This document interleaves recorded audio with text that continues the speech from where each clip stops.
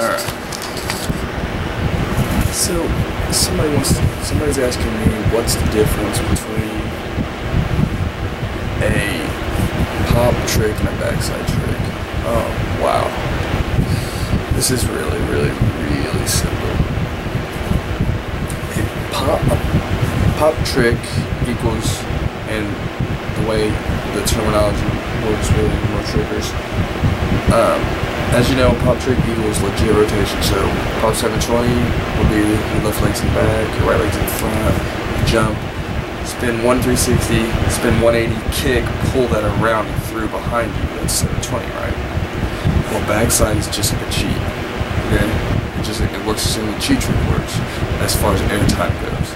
So you're just gonna cut 180 degrees half turn off of a pop so instead of having your left leg in back, right leg in front, doing that, jumping up and doing a full spin, you're just gonna put your left leg in front, your right leg in back, which is cutting it off a half turn.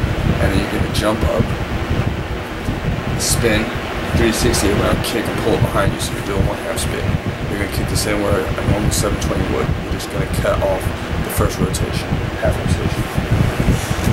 So, here's a guy looking at the camera's target. Here's the left legs in the back, right legs in front. Jump, 360 spin. Now what we're gonna do, instead of jumping from here, we're just gonna take this left leg, put it in front. So we cheated at 180. Now down, jump, and then spin from there. Boom. Okay, that's it. That's all you're doing. So that's the difference between a, a pop and a, and a backside. A backside is basically uh, the same exact thing as a cheat cheat trick, like a cheat 720. It's the same thing. It takes off the same spot. You're just jumping off two feet without doing the little tornado takeoff from the windup. That's it.